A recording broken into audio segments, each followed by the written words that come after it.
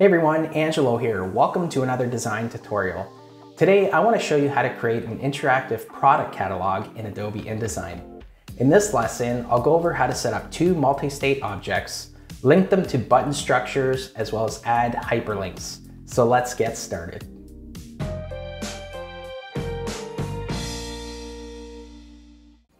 Okay, so let's go ahead and create our interactive product catalog. We're gonna start things off by creating a multi-state object with the product images, and then add a secondary multi-state object with the details as well as a button that we'll use to hyperlink to a fictional URL, taking customers to a fictional site where they can get more information. So, but like I said, let's bring in the images first. There's six of them all together. And what I'll do is I like bringing them in one at a time and then resizing them. Now, because these are the main images up top, I do want them to be a little bit larger because when we click the buttons down below, we want these to appear at larger scale, much like a featured image of sorts. So I'm just gonna, I'm gonna place them and then I'm gonna stack them on top of each other and I'll show you why in a second.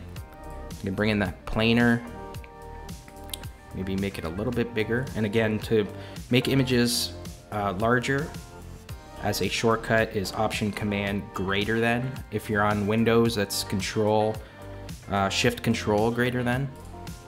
Okay, so let's move that over here. I have a reciprocating saw. Let's go ahead. Yeah, that's a good size there. Bring that there. I have another drill. And you can see why I'm doing this just to make sure that they're similar in size and I can go ahead and maybe make that a little bit larger as well. And the good thing about this is you can always go back and edit these images if they need to be edited in size. So let's bring in this last one here. And we'll size this last one and then we'll create it into a multi-state object. So something like that is good. Now these images, I've gone ahead and removed the background. If you have, um, you know, if you're doing this on a white canvas like this, you can just bring in images on white backgrounds. But of course, if you're gonna use a, a different colored background, that won't work. You'll see the, the background of that image. So either remove the image background or bring it in on a white background, but place it on a white canvas like you see here. So before I go ahead and make this a uh, multi-state object, I have to go into my layers panel. And what I want to do is rank these so they're in order of how they're going to appear when I click the buttons. So right now they're actually opposite. So I'm going to bring saw up and then drill, planer, reciprocating saw one, impact drill, and then that last one. So they're actually in the order. If I turn these off, they're in the order that are is it matching and it corresponds with the buttons down below. And that's exactly what you want. So let me put the layers panel back. And now I'm going to open up, I'm going to open up my object states window, which can be found in window, interactive, object states. And while you're there, you can also open buttons and forms and animation. Those are the three panels we'll work on in this lesson. So I'm gonna select with my selection tool, go ahead and select all of these. And let's go ahead and in your alignment controls, align the horizontal centers and the vertical centers. And just make sure that you're selected to align to selection and not the other ones. We want to align them to the selection. And then let's go ahead and in the object states window, convert selection to multi-state object and you can see that these are now on their own state. And I'm just clicking through them as you see. And I do want to rename this as power tools images okay? And this is going to make things easier when you're actually setting up the buttons later on. Let's go ahead and look and see. Yeah that's a good size. Maybe bring it down a little bit here to the right a bit more. Perfect Okay, let's go ahead now and set up a secondary multi-state object with the details to go along with these images. Okay, so let's go ahead and create a secondary multi-state object which will have the product details, the product name, as well as a buy online button which will create a hyperlink to. On the left hand side of my screen, I have six grouped text frames with the details, the name, and those buttons. I'm in my um, control panel here, I'm going to make sure that the uh, vertical centers are aligned. Again, I do want to stack them together. Make sure that you go ahead beforehand, which I have done, and reorder them the way you want in the layers panel. And in the object states, go ahead and convert that into a multi-state object as well. And you can see the states I have here are in order. So there's the saw, the drill, the planer, the saw, the drill, and the saw, okay? So these all correspond with the buttons we're going to set up as a final step. So what do I wanna do now? Down below here, we're going to repeat the images at smaller scale in order that we've set them up here. And then we're gonna set up buttons with them. So again, at one at a time, I'm gonna bring in the saw first. And again, you want to resize to what you want and you're just eyeballing these. You're not, it doesn't have to be perfect at, at the beginning. A lot of the fine tuning happens after all the images are actually placed. So that's a good, I like the size of those. And then let's bring in the planer next. Okay, so I'm gonna bump that up just a little bit. Okay. Reciprocating saw 1. This one's tricky because the shape is a little, I'm gonna make that a little bit bigger. And then remember, option command greater than, use your right arrow keys. That could be a little bit bigger, it's good. Okay. And then what I'm gonna do is I'm just gonna create a copy by holding Alt and then hold Alt and create another copy. And then you could just go ahead and drop, you can replace those images by dropping them in with the new ones.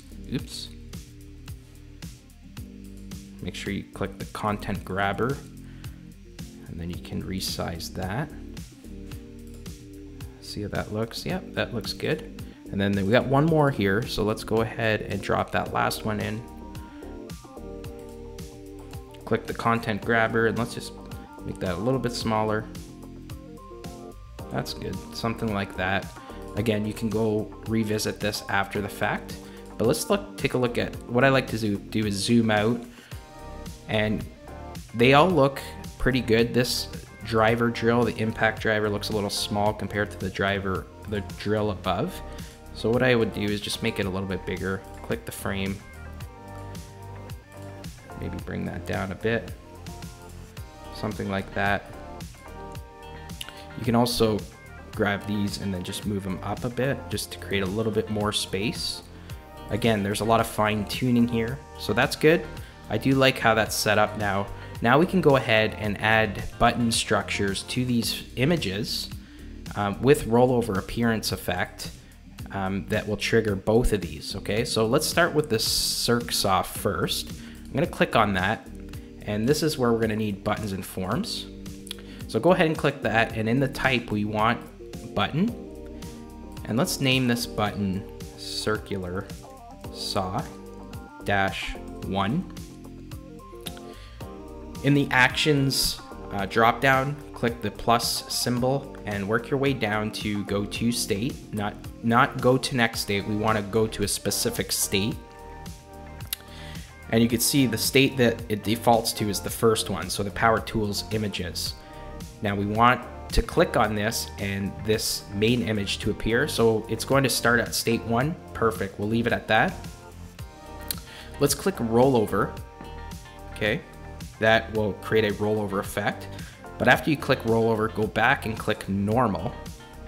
Then double click the button Work your way to the right hand side under the control panel, or I'm sorry, the properties panel. And in the, in the opacity, let's make that 85%. So now we have a subtle rollover effect or appearance where it goes from normal and then when we hover over it, it'll light up, okay? Let's go ahead and actually, before we move on, let's add a secondary action to this. So click that plus button again. and let's go to a state. And in this case, instead of power tool images, we have to go to, well, we didn't rename that, did we? Um, let's rename that so just so we're on the same page here. It's important and I didn't do it. So click on the details. It's not gonna be multi-state 5 because if you have multi, multi-state objects, it's gonna get confusing. So this will be product details dash, or just say two is fine. Perfect. Or let's make it dash two. Perfect. Okay, let's go back down. Click on circular saw. Let's go buttons and forms. And we want products product details dash two. And we'll leave it on state one. Let's do the same thing to the, the cordless drill. So let's click that. Let's turn that into a button and let's call it cordless drill button. Okay. And in the actions, we want it to go to a state.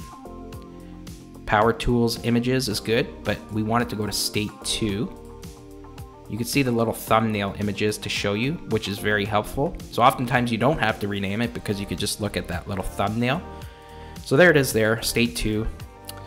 Click on rollover, go back to normal, double click to drive into that appearance rollover and then we'll make that normal rollover at 85% opacity and then you can see that we have a subtle uh, rollover effect. Let's go on to the third one.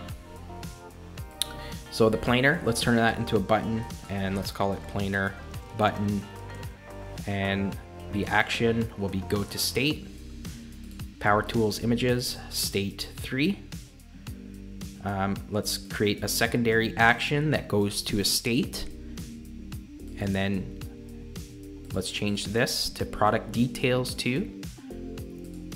And this is going to state three. So you can see state three, state three, but they're different multi-state objects. I'm gonna finish this off and then we'll test it out. So I just finished off the buttons. Let's go ahead and take a look in the EPUB preview window just to see how everything appears on the page, you'll notice that when I hover over the images, they have that subtle rollover appearance, which is great. I'm gonna click on the cordless power drill. You can see that changes with the details. Because we set up two different multi-state objects, you, you have the ability to do these things, which is great. So that all works fine, but I do wanna add an animation to the, the details so they come in from the right, so they fly in from the right.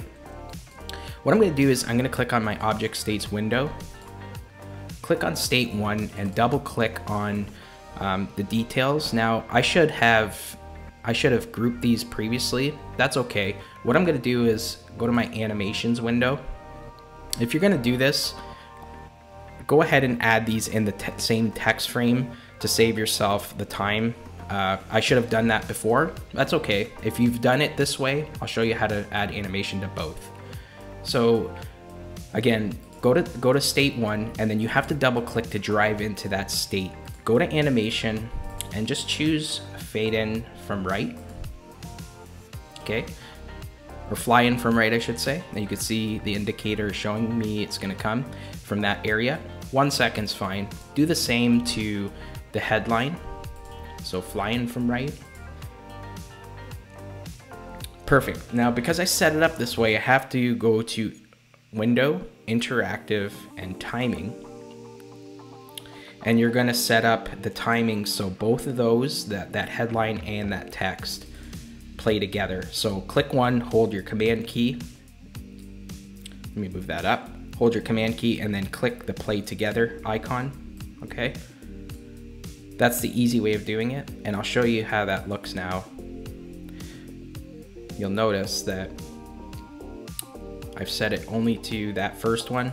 So let's click that second, and then if I click the first, you see it comes in together, which is awesome. So let's go ahead and add it to the rest of them, and then I'll show you how that looks. So let's go to the, the second object state. So click this, go to state two, double click to drive into that text frame, go to animation, and choose fly in from right, click on that headline, fly in from right, click on timing, hold your command or control key if you're on Windows. Click both and then play together. Go to object states, state three, click that text frame, double click to drive into it. The preset for that will be flying from right. Click on the little headline, flying from right. And let's go to timing and play those together. Let me just finish these off and then I'll show you how that looks as an overall presentation. Okay, I've gone ahead and added the rest of the animation to fly in from the right on those product details. One thing I wanna note, the event has to be on state load. It should be if you set up your multi-state objects properly. If it does say on page load, just click this and make sure that on page load um, which is not even in here, um, is not checked, okay? So let's have a look now and see how everything appears. And then we'll add a hyperlink to that uh, one of those buttons. So you can see it doesn't appear until you click one of them, which is good. But they all fly in from the right, which adds just a little bit more interactivity to, to the overall layout. So that all works. What I'm going to do now is set up a hyperlink to the buy online button and we'll set it up to just a, a URL that uh, we can link to. Okay, so as a last step, what I want to do is create a hyperlink on one of these buy online buttons that will essentially take the consumer from your interactive catalog to a website where they could possibly purchase one of these products. So to do that, click on the multi-state object with the details. Double click to drive into that button. And we're gonna do just that. We're gonna create a button. I'm going to click on the type, click button. Mm-hmm. This will be called buy online. I'm just gonna do it to one of them, just as an example. Um, on release or tap is just fine. In the actions, click the plus sign and we're gonna add the action to go to URL. And for this, because there's not a actual website set up for these products, I'm just gonna put in www.montilladesign.com slash tutorials. And that should do it. So you would just apply the same um, the same technique to the rest of the buttons, obviously with different URLs directing consumers to those products. And let's have a look. I'm gonna click my EPUB preview window. Just gonna make it a little bit bigger here. Perfect. Okay, so I can click through. You can see all that works still. And now I can go back to my first one, the circular saw, and you'll notice that my cursor has become a hand. I'm gonna click that and it'll take me to Montilla Design in my tutorials. So that's how you set up a button as well that uh, is hyperlinked to a URL. So that's an example of how you can create an interactive product catalog in Adobe InDesign. If you enjoyed this tutorial, if you found it helpful, go ahead and give it a thumbs up. Don't forget to hit the subscribe button to get notified when new videos have been posted. If you'd like to learn more about interactive design, go ahead and click the playlist above.